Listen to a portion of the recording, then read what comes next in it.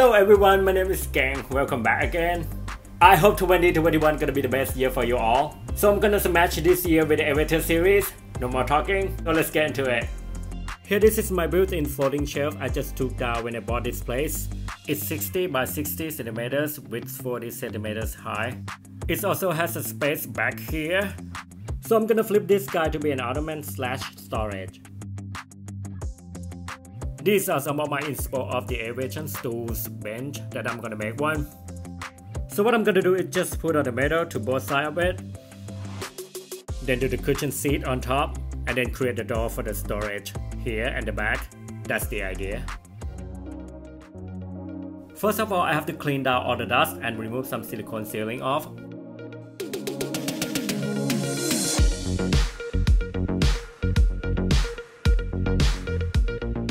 after it all clean, I apply this contact paper inside of the storage to make it more rich and expensive. And I lay it over the edge as well.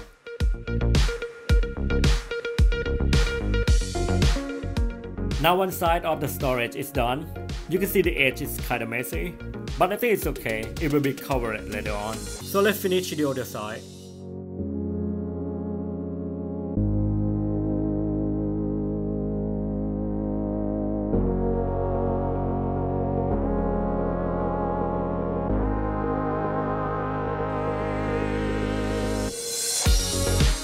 Here it is, totally different and looks so far so good.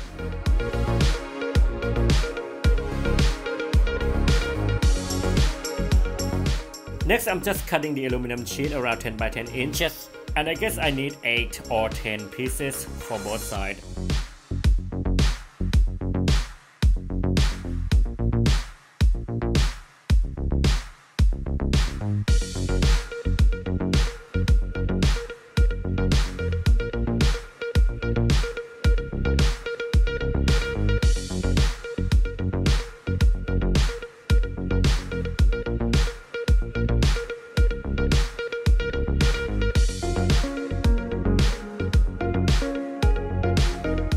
It's time to attaching the aluminum. So what I'm gonna do is just folding over the edge of the sheet to tuck away the sharp inside. Then I'm starting to bend it over around 1 inch, upright 90 degrees as you can see.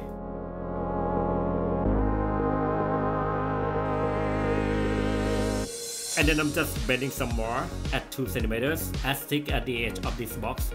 So now we got kinda U-shaped for covering the edge.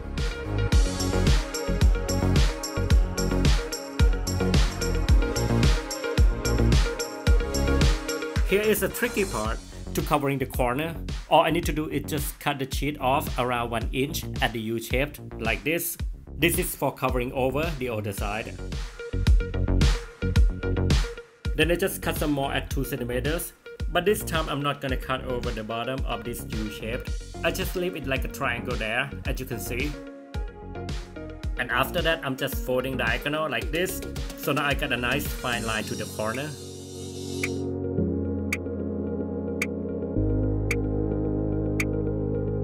And again, I'm bending the sheet 90 degrees to fit the other side.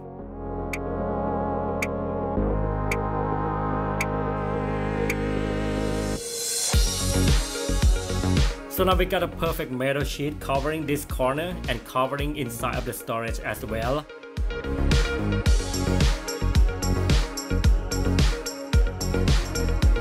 Then I took the sheet off and gluing down the surface with this glue. I used to say this is a hot glue, but actually it's not. I don't know what kind of this glue, but it's just like an industrial multi-purpose strong bond, like E6000 kind of glue. You guys know. So I'm just tapping it, let it stay in place and dry, and I add the staples over the other side. This is how it looks after all the corners are covered. And now I'm gonna do the middle section. This one is way easier to do. I'm just bending the top and the bottom side of the sheet just to make it fit in, that's all.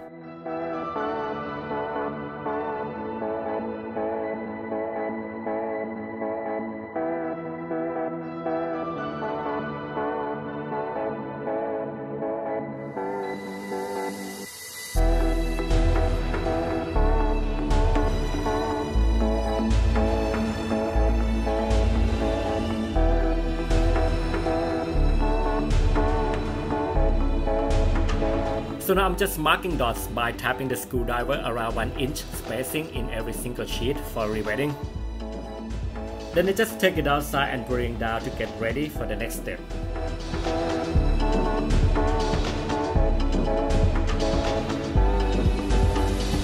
For riveting, I just put down the rivets into the holes first.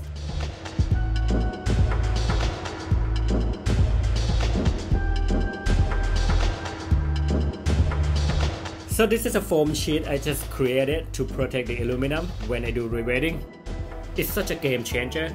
I didn't make a scratch and scars on the surface tons of the time from the past project, so now problem solved. So I just did the other side of the camera, and here it is. I'm already obsessed with it. Now I flip it over and screwing it inside the storage. Then they use the sheet from contact paper to cover up the surface for protection during the project.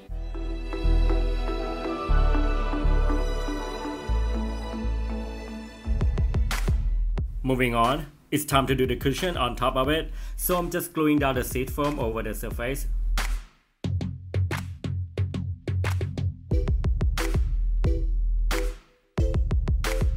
And then I'm cutting off the excess but I don't think the foam I got is thick enough, so I'm just adding another layer to it.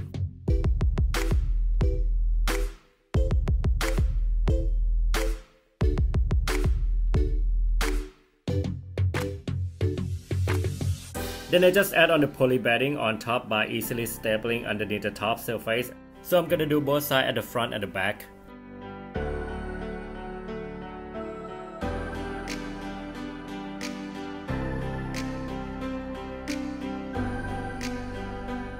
And then I trim it off.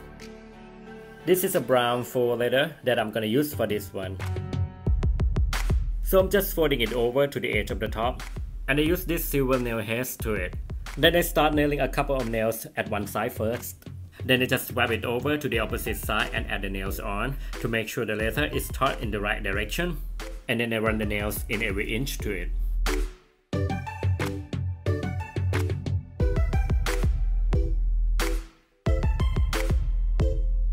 Here it is. Not bad for the side, it is a good sign. So I'm gonna finish the front and the back by wrapping the leather over the edge underneath the top and then I put down the nails in the same process.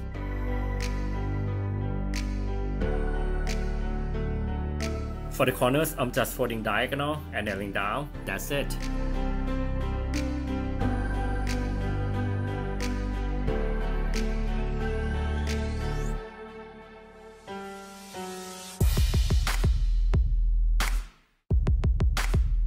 Now I'm gonna create the door for the storage. So I use jigsaw cutting the hardboard at 14 by 22 inches at the same size as the storage space.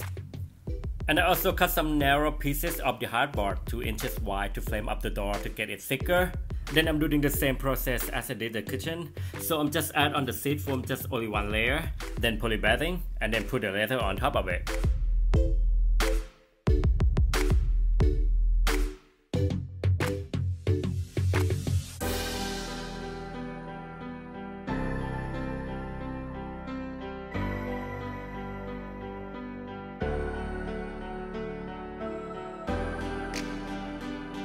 So I put the leather tie and run the staples to the back side.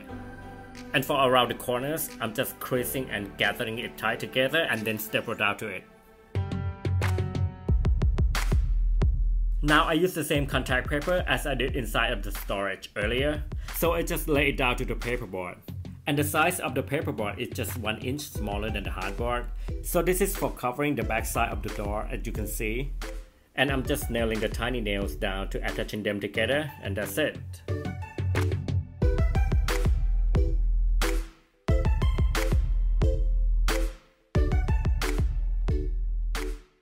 Okay, it's the final cutting down. So I just cut some narrow strip of the leather around 2 inches to cover the edge of the bottom side. And here for the corners, I just fold in diagonal like this. And then I'm installing the door. So this is a magnetic push latch or push catch, whatever you call. So I'm just installing it right at the edge underneath the top inside the storage. Then I install the small hook to the top of the side. And I screw down a chain to the side of the door just for hanging up to the hook. Here we go. And now both sides of the storage just done.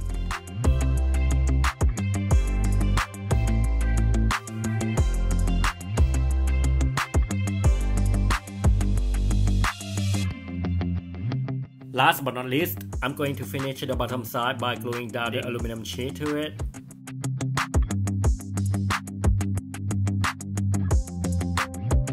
Then I'm screwing all over and put the wheels on.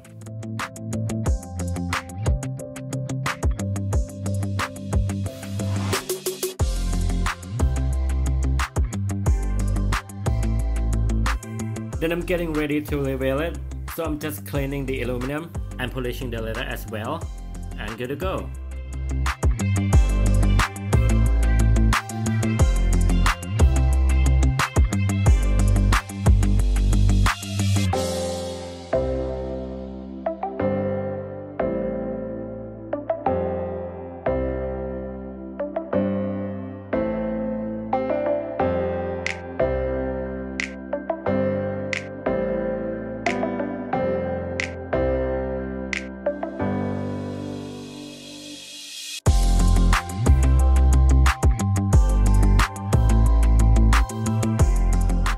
Guys, I hope you like it. So see you next video.